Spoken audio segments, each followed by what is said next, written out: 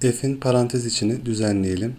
Burada payda eşitlersek a kare artı 4 bölü 2a gelir.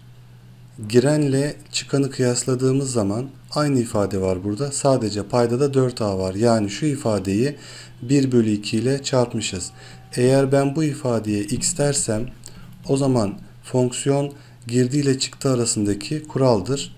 fx eşittir. x'in yarısı yani girenin yarısı daha sonra da bunun karesi alınmış diyebiliriz. Bu şekilde fonksiyon kuralını belirttikten sonra x yerine kök 2 yazarsak kök 2 bölü 2'nin karesi de 2 bölü 4'ten 1 bölü 2 gelecektir.